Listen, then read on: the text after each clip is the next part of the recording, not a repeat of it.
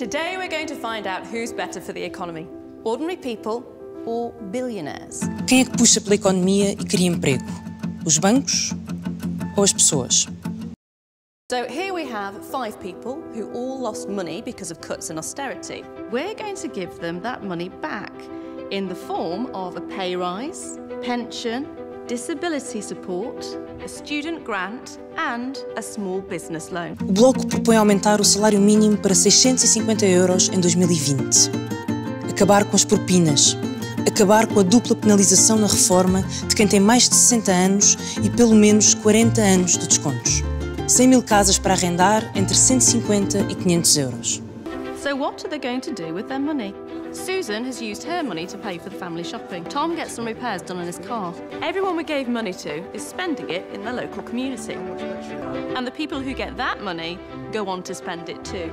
All this money changing hands creates economic growth. Businesses take in more profits and they can hire more people, and they too go on to spend their wages. With every transaction, the government takes in more revenue, and they can use this to build new roads, hospitals, and schools, and they can also hire more teachers, firefighters, and police officers. Not only will these people spend the money that they earn, but they'll also make our country a better place to live in, attracting more investments and tourism. Now Vejamos o que acontece. Com o aumento do salário mínimo, a Joana e a sua família vivem com menos dificuldades, porque podem comprar mais bens que precisam. O João pode comprar livros, pode ir ao teatro. As pessoas têm agora mais rendimentos que são gastos na economia do país. E quem receber esse dinheiro vai voltar a gastá-lo em novo consumo ou investimento. São estas dinâmicas de consumo e investimento que estimulam a economia, que criam emprego e garantem receitas para o Estado. Estes impostos são depois usados para financiar a saúde, a justiça, os transportes, para contratar médicos, enfermeiros, auxiliares, tanta gente que todos os dias faz o país andar para a frente.